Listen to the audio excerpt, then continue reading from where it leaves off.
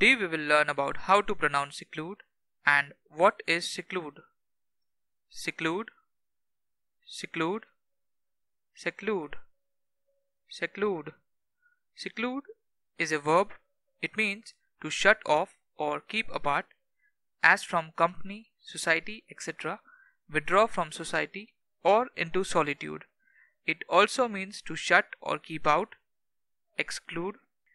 Simple present tense of seclude is secludes. Present participle tense is secluding. Simple past and past participle tense is secluded. With that, it's a wrap.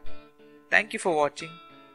Do not like the video, don't comment, and don't you dare subscribe to the channel. Don't be crazy, that was just a joke. Like, comment, share, and subscribe right now.